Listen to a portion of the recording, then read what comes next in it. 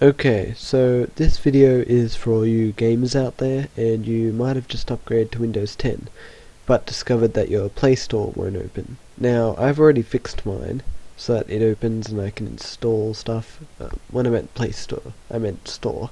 Um, but basically, uh, it wouldn't open and you couldn't install apps even if you got it to open like this.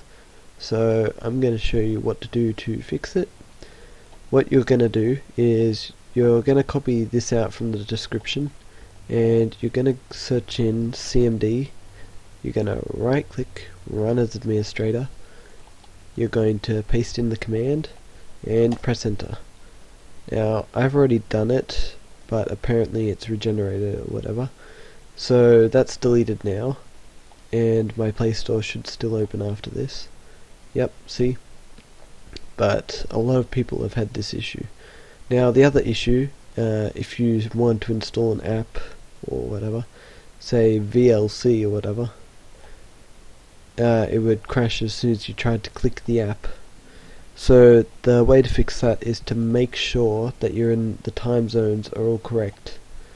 So um, for some reason, when I got mine, it was set to Canada.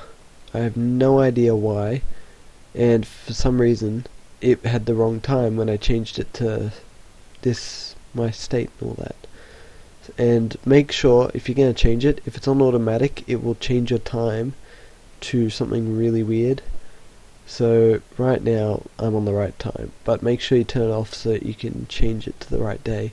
I was a day ahead and um, the time was wrong. So make sure that that's all correct then once that's done you should be able to open it up and install apps at will. I uh, hope this helped and I'll see you guys later.